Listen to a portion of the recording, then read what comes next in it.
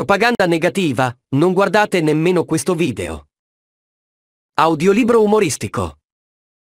Scritto da Hieronimo Lopez Soldevilla.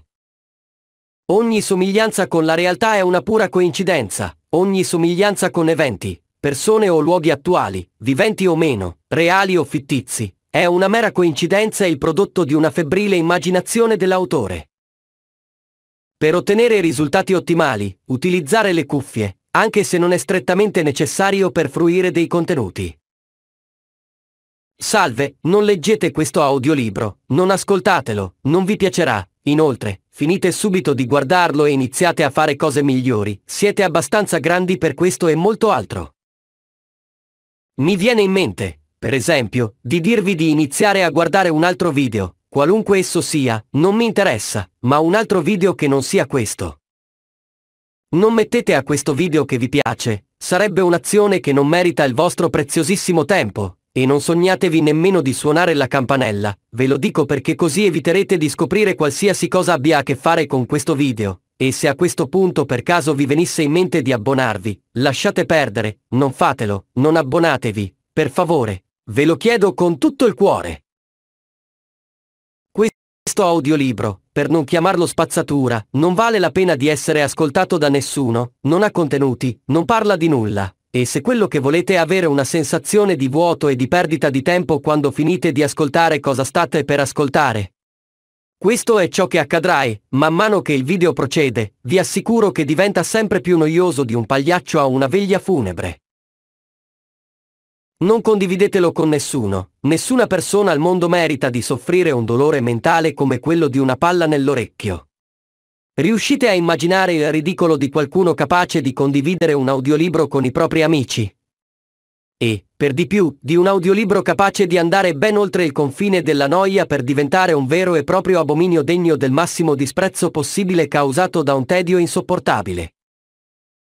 In questo video non si parla di animaletti buffi con una risata standardizzata in sottofondo che non piace a nessuno. In questo video non vedrete l'autore dire che capisce perfettamente come un autore che sa a malapena leggere o scrivere moderatamente bene a causa della sua scarsa formazione accademica ricevuta nella scuola normale, e che aspira solo a guadagnarsi da vivere con i pagamenti di YouTube cercando di caricare video virali, anche se parla a vanvera e nella speranza di trovare un pubblico come lui, che metta like, si iscriva e lo condivida con altri come lui.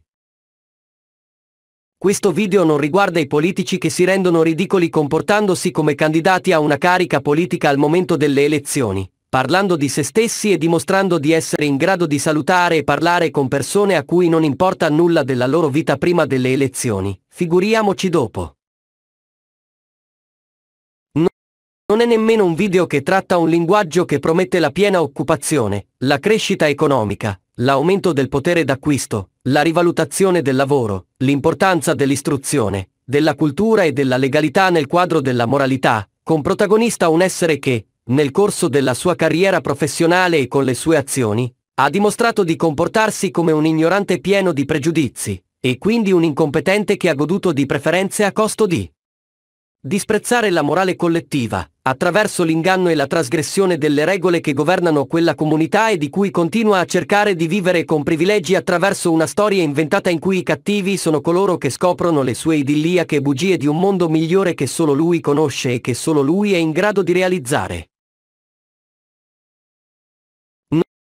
Non è un video che riguarda un alto funzionario pubblico registrato in incognito a una cena con uomini d'affari premiati con contratti concessi dal governo, e che il giorno dopo, quando la sua voce appare in una registrazione in tutti i telegiornali nazionali, il signore registrato, con la sua stessa voce, afferma di non aver mai detto di aver bisogno di una grande quantità di milioni di dollari per vincere le prossime elezioni, che in realtà si riferiva e implicava che gli investimenti sarebbero stati sicuri come scommettere su un cavallo vincente attraverso offerte in busta chiusa, dove invece di mettere l'importo del capitale per l'opera o il servizio a cui volevano accedere, dovevano inviare una busta chiusa con l'importo netto da contribuire alla campagna.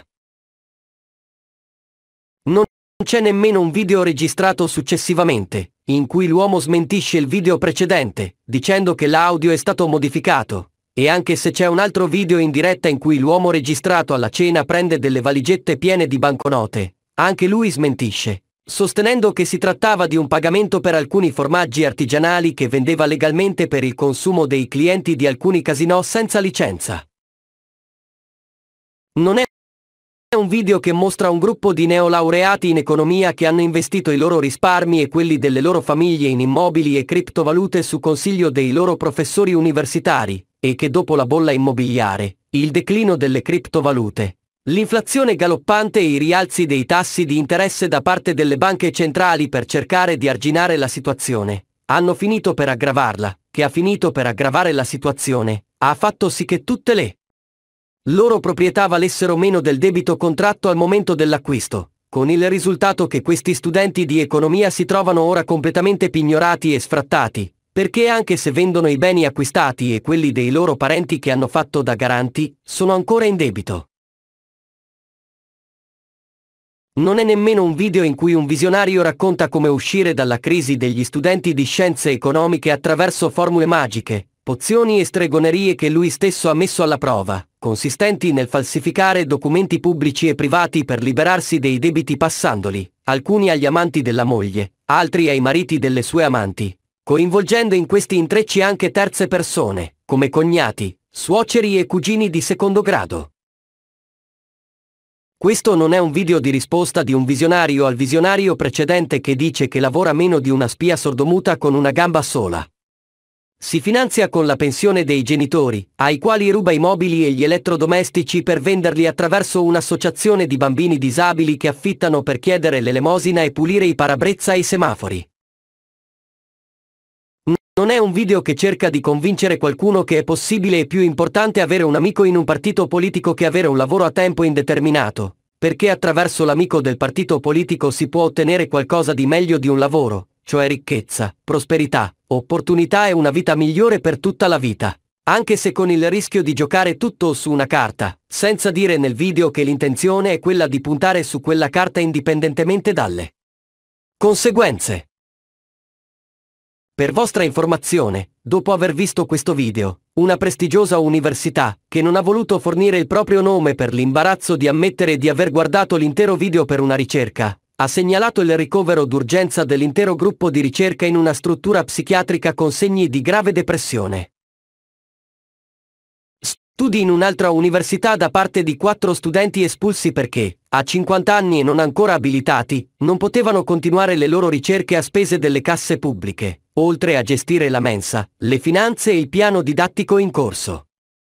hanno dimostrato che la visione di questo video migliora del 300% il risultato di un trattamento del viso, grazie alle smorfie di disgusto e disappunto prodotte dalla noia di ascoltarlo. L'altro giorno, senza andare oltre, mi sono imbattuto in un ragazzo con un'infinità di brufoli e buchi in faccia, che assomigliava più a un calcare che a un volto, e che tutti chiamavano la cicatrice.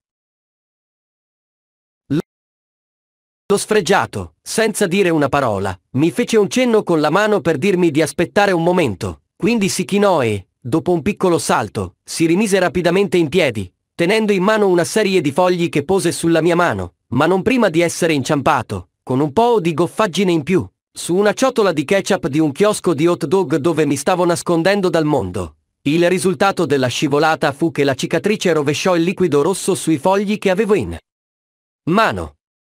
Questo fatto, a sua volta, ha fatto sì che immediatamente, come in un'azione riflessa, le portasse al petto della sua camicia per strofinarle con forza nel tentativo di pulirle velocemente, le stendesse e me le mettesse davanti, accompagnate da un sorriso che cercava di dirmi di non preoccuparmi, che andava tutto bene, che non c'era assolutamente nulla di cui preoccuparsi, ma di firmare quelle carte, rendendomi responsabile di qualsiasi cosa potesse succedergli per aver